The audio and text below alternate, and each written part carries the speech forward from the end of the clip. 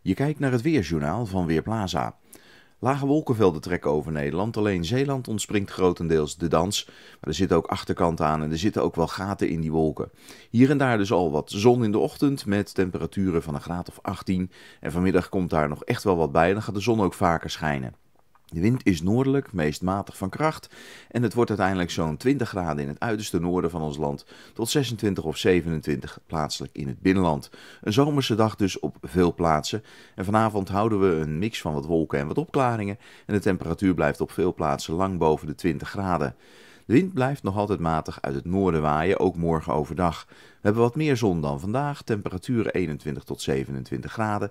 En wat dat betreft houdt het zomerse weer dus gewoon stand, ook in het weekeinde.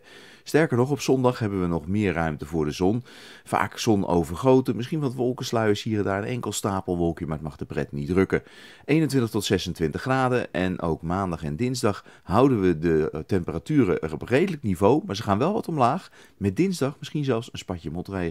Ik ben Marco Verhoef van Weerplaza.nl